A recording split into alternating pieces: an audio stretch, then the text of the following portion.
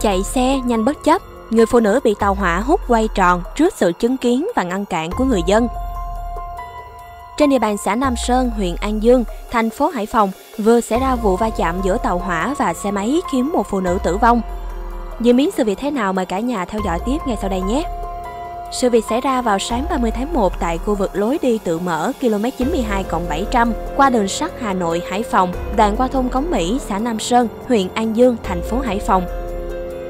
Nhân chứng tại hiện trường cho biết, bà Phạm Thị Hắc, sinh năm 1964, trú tại Nam Sơn, huyện An Dương, Hải Phòng, điều khiển xe mô tô biển kiểm soát 15B3 446XX đi từ xã Nam Sơn ra hướng đường Hùng Vương, va chạm với tàu khách LP2 đang di chuyển từ Hải Phòng đi Hà Nội. Hậu quả bà Hắc tử vong tại chỗ, xe mô tô bị hư hỏng nặng. Lối đi tự mở từ địa bàn xã Nam Sơn, huyện An Dương qua đường sắt có tình nguyện viên cảnh giới nhưng không có rào chắn, theo camera gần đó ghi lại, khi tàu hỏa sắp tới, tình nguyện viên đã ra tín hiệu cờ, còi từ xa. Khi thấy bà H đi tới, một số người dân gần đó cũng hô hoáng. Tuy nhiên, bà H điều khiển xe mô tô với vận tốc khá nhanh nên không xử lý kịp và bị cuốn vào gầm tàu hỏa, sau đó bị hất văng ra đường. Vụ việc hiện đang được công an huyện An Dương thụ lý giải quyết theo quy định. Các ngã tư giao cắt với đường sắt không phải nơi nào cũng có barrier rào chắn và người gác tàu.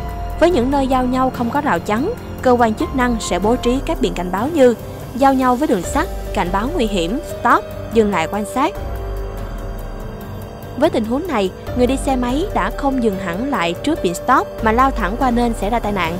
Biển stop là một trong những loại biển báo bị phớt lờ nhiều nhất tại Việt Nam. Ở những nơi đường giao nhau, đặc biệt từ ngõ, đường nhánh ra đường chính hoặc đường bộ giao đường sắt.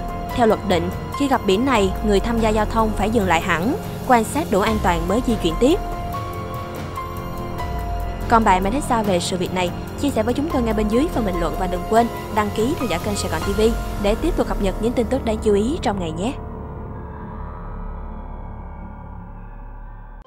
Gửi ngày tin nóng cho Sài Gòn TV qua hotline 0909 660 550 để có cơ hội gia tăng thu nhập nha.